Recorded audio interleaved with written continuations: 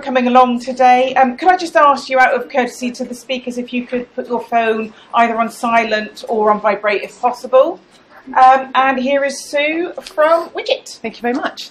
Um, thank you so much for coming and sparing the time because obviously there's so many things going on upstairs and it's so busy. Um, and it's nice to see some of the people I've been talking to already. So um, I do actually have a surname, which is Sue White. Um, I'd say everybody else had a surname on the introductions, but I'm just Sue from Widgit, which actually is quite nice. But um, uh, just a little bit of background. I'm a, the senior educational specialist. I've been with Widgit for six years. Uh, my background is mainstream primary teacher, so I was a mainstream primary teacher, a mainstream primary SENCO, and then a local education authority advisor uh, for um, East Sussex LEA.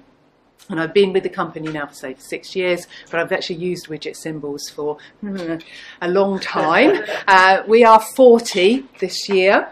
Um, I mention this because if you are a Widgit symbol user, if you know about us and you've been using symbols, we are launching a competition next week to celebrate our 40th birthday and we are giving away um, A1, it's a big size, isn't it?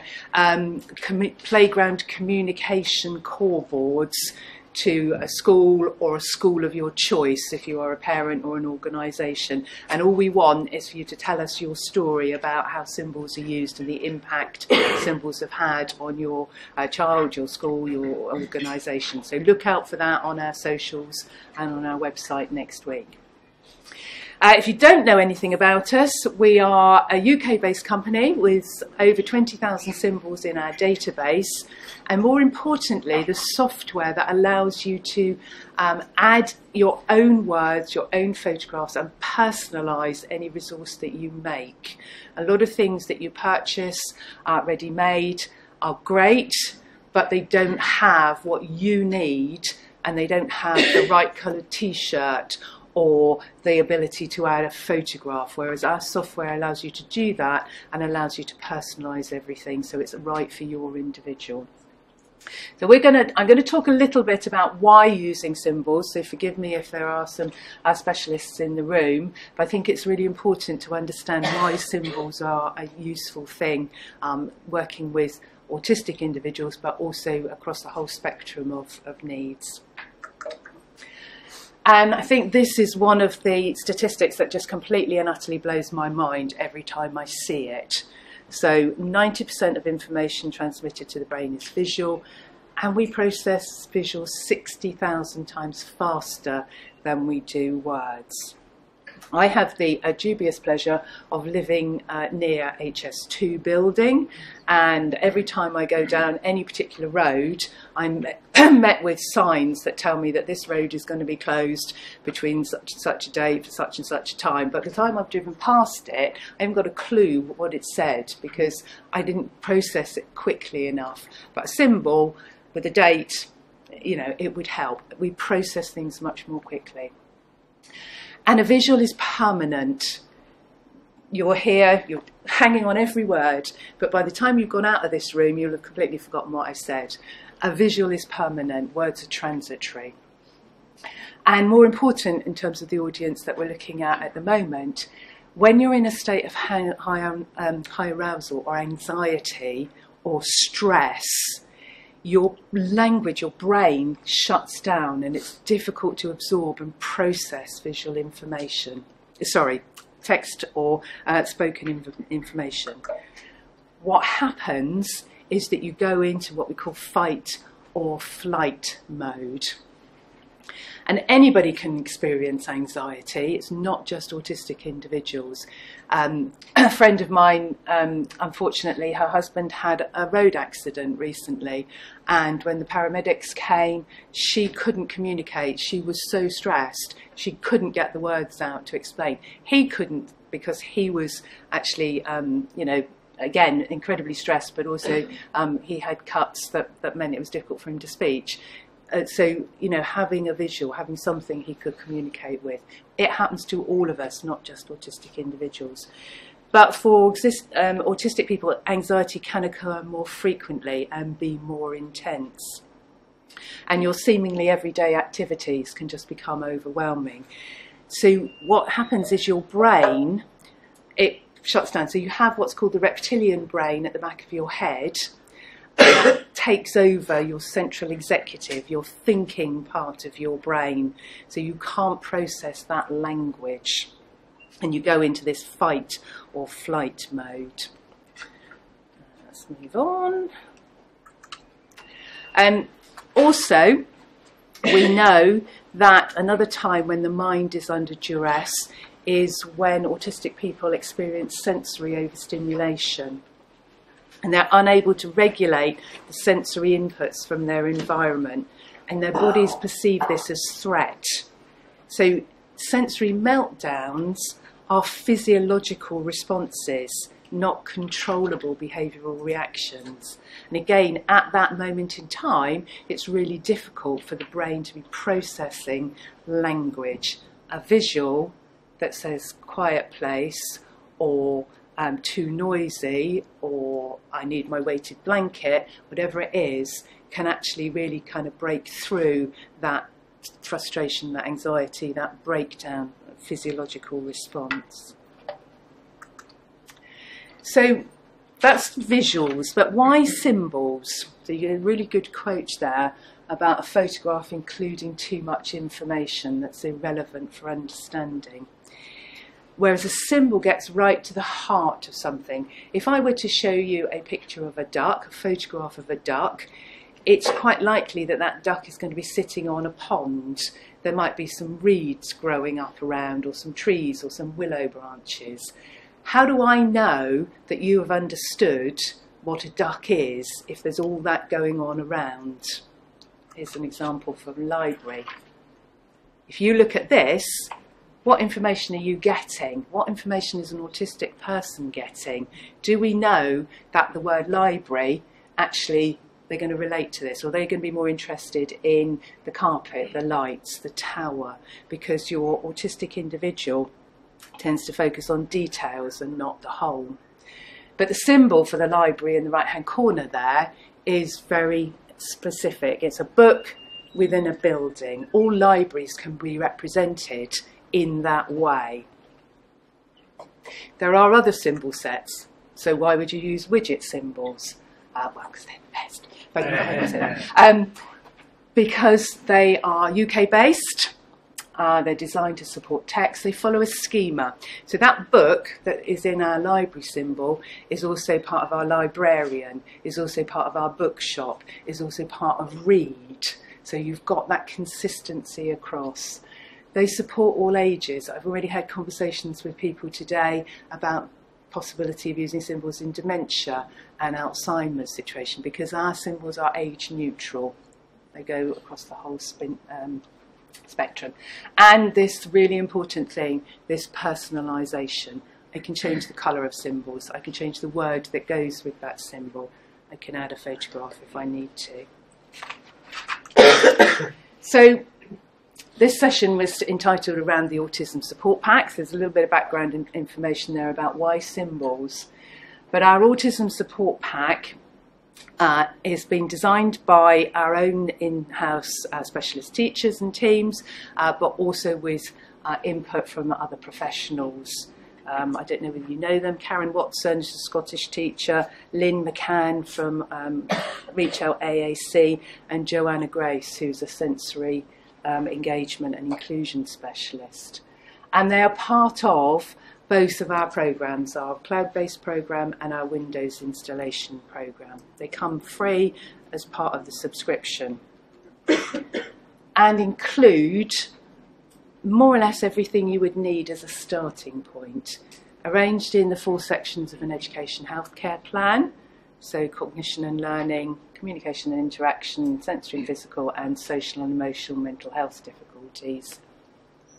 But again, the emphasis being on these are starting point. Everything is fully editable. And in a minute, I'm going to show you how that's done uh, if the video works. This is what it looks like in Widgit Online. Um, so if you're familiar with Widgit Online or you're not, if you're not, please come and talk to us upstairs and we can show you more about it and talk to, about, talk to you about the free trial. Um, but it's, this is how it would be organised in those four categories. And I'm just going to quickly show you some examples from each of those categories before we look at how you can actually um, edit. Uh, so this is from our sensory and physical needs. Um, and you can see we've got a lot of really lovely sensory symbols, gimbals, resistance bands, trumpets, poppets. Uh, so based on uh, choices that you can make uh, for all of those. Uh, toileting, hand washing is also part of sensory and physical needs. Uh, this is social, emotional, mental health, so social stories around going to the toilet, uh, routines, again, all of these. And again, you know, these are all personal. Uh, you've got communication and interaction, so these are core boards. There are also now and next boards, sentence strips, uh, for example. And then the final one, uh, cognition and learning. So there are activities as well uh, for supporting both at home and in school. The school pack contains more cognition and learning activities, just so that you're aware. Um, so that so we've looked then at why visuals, why symbols, why Widgit, what's in the autism pack. So what this video now is going to show you is how you can use Widgit online to actually um, use what's in the autism support pack but make it personal, make it right for your individual. Now, I don't believe that the uh, volume is working, so I will try attempt to type, um, talk over the video and show you what's going on. So I'm going to have to look that way so I can see what it is. So uh, forgive me for losing eye contact. We might get a bit long.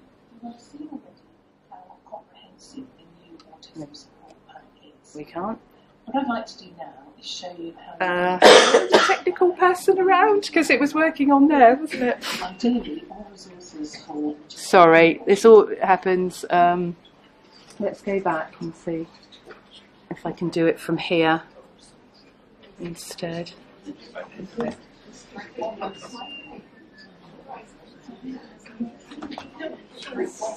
Ah, okay, I've solved it. Sorry, it didn't work with the button. You might be able to hear, but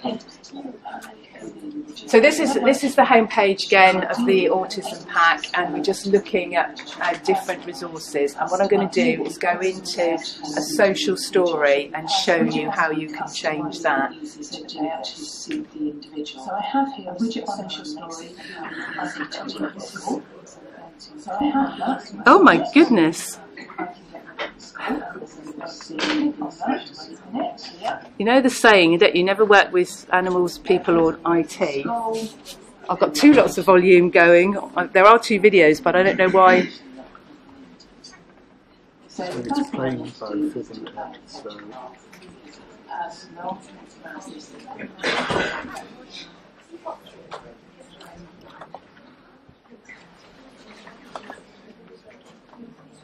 Let's just see what happens.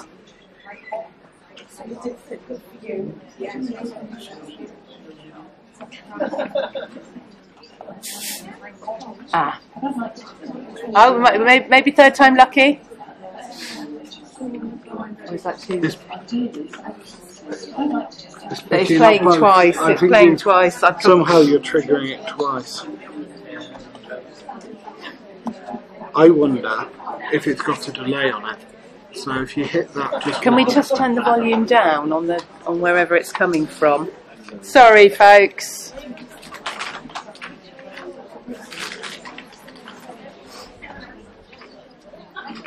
Let's try that. So, do you like I just play it on there? Would that be better? Do you think? Or Yeah. That might just work actually. so, shall we try and mute it for a second? there was a bit where it just was talking a bit and just showing. I think it was a bit Is it okay now or not? Mm. Not got the audio. Well, don't worry about the audio because I can talk over oh, that. I hang just on. want it to play. It's there. I think it, it is playing. Is it it? is playing something. Okay, it's just the. But we'll just hop along and see whether it's got anything. Yes, it does. So There you go. You're just going to have to give it a few seconds to come in. Can I move it a bit further along or not? Well, it, it no, it seems Oh, to okay. it when it did that, which was the cause of my original Oh, beg your chaos. pardon. Uh, I think here, the sound there. Oh, is that was that why we're getting two lots? Well, yeah, I think it was triggering. triggering. Okay. I think I think we I think we might be there. Thank thank you so much. Um, I know there I was a little bit of me talking before it came into being um, active. So we'll we'll just see what happens. I think what I was saying was, you know, this is what it looks like. We're going to move into a social story, and I'm going to show you how you can amend and pers- ah, here we go. Look, we can amend and personalise that social story. So this social story is I can get ready for school, um, and it's part of the um, community. Sorry, the uh, social and emotional health section. So uh, this is what it looks like um, with all the information there. But what we want to do is add a photograph. So with our software, as well as the symbols in the database, you can actually add your own photograph. So this again personalises. And although I said photographs are not great, uh, that's not true in certain circumstances and situations. I do want a photograph of a person, and I probably want a photograph of a specific place where do I put my book bag, for example, or this is what um, it looks like in the in the, the um, bathroom at school, the, the toilets in school. So you can just add your own photograph um, and just adjust the, the sizes, and that's done through what we call our image library, which has access to any photographs that you have on your computer or your iPad. Um, what we're going to go on to now is have a look, I think, at the uh, skin tone. Uh, so we can change the skin tone of any symbol that has skin or flesh. So it's more pertinent for the individual, but if you're creating resources for a group, then you can put in different skin tones to make it more representative and more inclusive. So I've just highlighted the whole thing um, and I'm going to change the skin tone there, uh, whatever is suitable. Any symbol that has more than one person automatically has what we call varied skin tone. So it has, uh, again, it's inclusive, it allows different skin tones in the system. This is the order of getting ready for school, but I'm going to, in this part here, I'm going to show you how you can add in more information. So I can change what's already there. So, uh, for example, we're going to brush our teeth and comb our hair. We can just alter it, amend it, make it more personal and more relevant. I can change the colour of symbols. So I think this next one will show how I can change the colour of the coat and the school bag because some young people are very literal and they won't put on a blue coat if their coat is not the colour of the symbol. They will only put on uh, the one that is pertinent and relevant to them. And that's done through the colour palette. Uh, and you can just change the colour that you want uh, by doing that.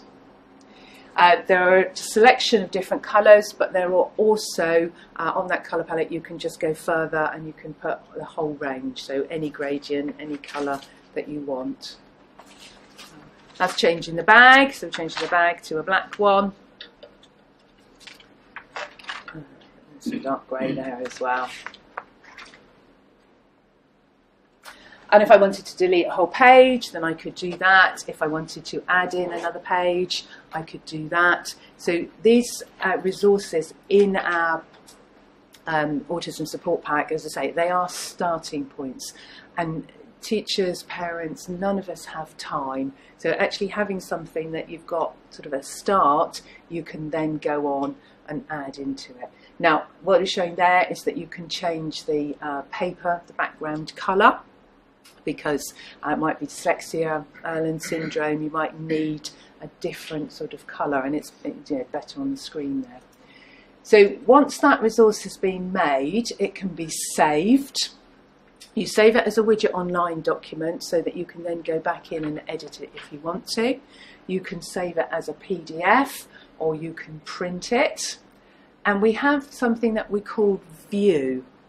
Uh, now this is really important because you don't have to print out our resources. You can view them on a tablet or a phone.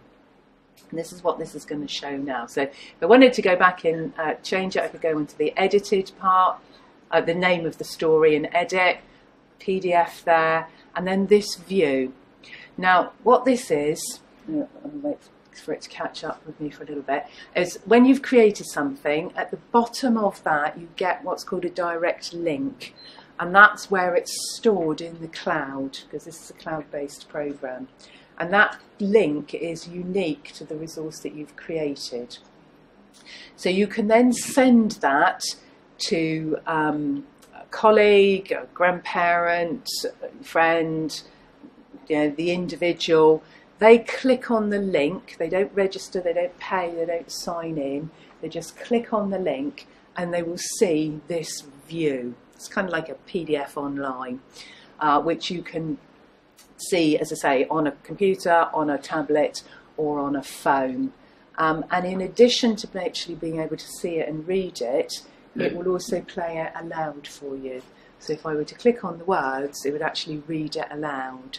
So if you think social story, you think I want to be seeing this before I go into school in the morning, um, mum's driving, dad's driving, child can access the phone, click on it, and it can be read aloud to them as well, setting the scene ready for going into um, into school or whatever that, that social story is. So that's a really useful resource.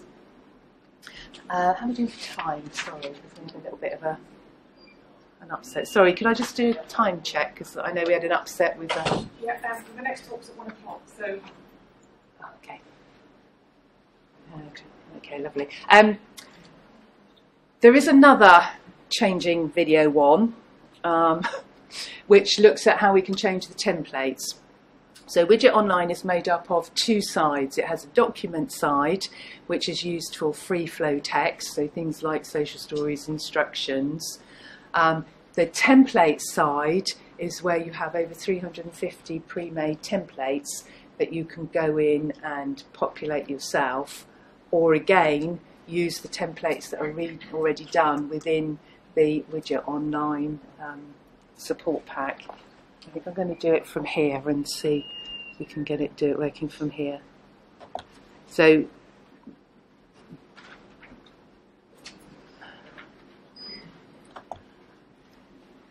I'm hoping that this is going to go into a happy board now. Because If it doesn't, we'll just give up. Doesn't look like it's playing. Ah, there we go. There's the what's it? That should be playing now. That's playing now, is it?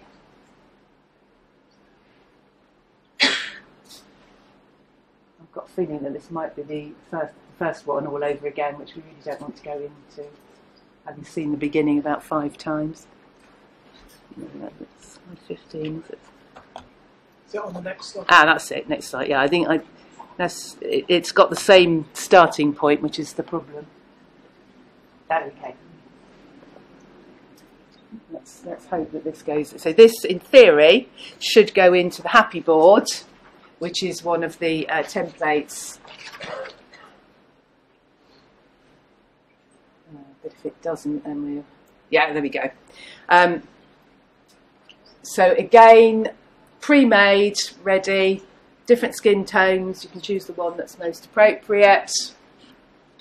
Uh, you can change any skin tone that you want to anyway, as I've mentioned before. You can change the background colours. And again, you can change the colour of the symbol. So uh, let's have a quick look with this one. Uh, go. So we're going to change, I think, the skin, uh, the background colour on this one, I think. Yeah, so if purple isn't your thing, then you can change the background colour of that cell. Again, lots of different choices.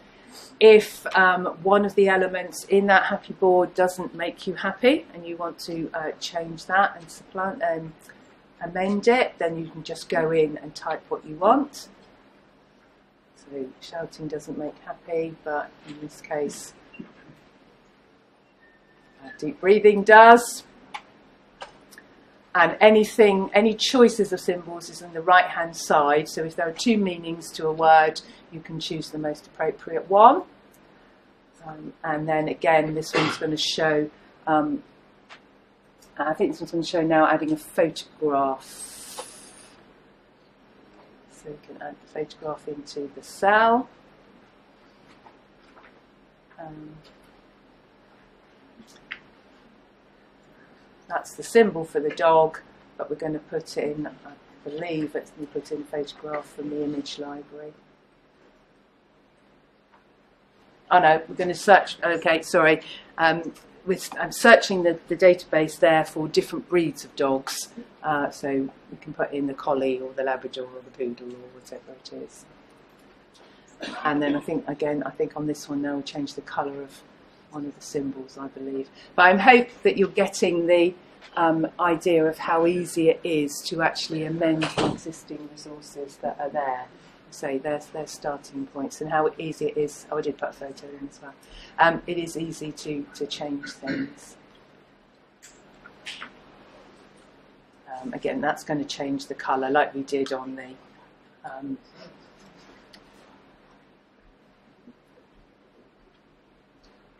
um, go change the colour of the bus like we did with the bag.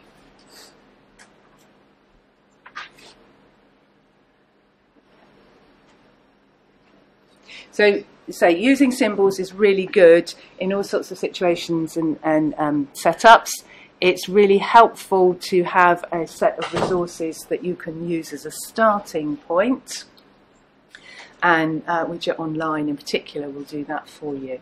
Right, let's fingers crossed at the next move. I think I'm going to do it on here again. It doesn't like my um, my video ones. Okay, um, so we are on stand 10. That's the number we were given, but essentially, if you go um, onto the fourth floor, um, and we're on the, the, the back wall. So come and find out more about us, and you can actually have a play if you want to. Um, just a little bit about prices. So it is a subscription program. For parents and carers, we have our home account, which works out at £9 a month or £90 a year. That is PayPal, um, so you can cancel it at any time. You don't have to uh, keep the monthly subscription going for the whole year. Um, and we do have um, a free 21 day trial where you only need to enter your email address. You don't need to put in financial information and then remember to cancel it. It's just your uh, email address in order to have a trial on the website, which is www.widgit.com, um, which is there, um, there are lots of help and support materials, videos, and access to free webinars that are run um, at least once a week, sometimes twice a week at different times of the day, that you can just sign up for free, uh, come along, get a little demo, which hopefully would work, and um, ask any questions. I'll go back to that one. Our social uh, community on Instagram and Facebook like to post lots and lots of ideas of resources that they've created. So it's a really good place to go to get ideas of how you might, uh, you know, things you might make, things that might be useful in your circumstances and settings. Um, and also uh, joining our mailing list is a good thing to do as well because you find out more about what's going on in, um, in the community of Widgit, the competition, for example, uh, but we would also signpost you to free resources that are coming or have been made that you can download. So thank you very much. Thank you for bearing with me with the um, technical difficulties. I do apologise for that. I always put things on video because you never know what the Wi-Fi is going to be like, and doing things live can actually be quite awkward at times. Uh, but obviously doing things on video can also be awkward at times too. So uh, thank you very much. As I say, come and have a chat. We're upstairs and we'd love to show you more if there's something that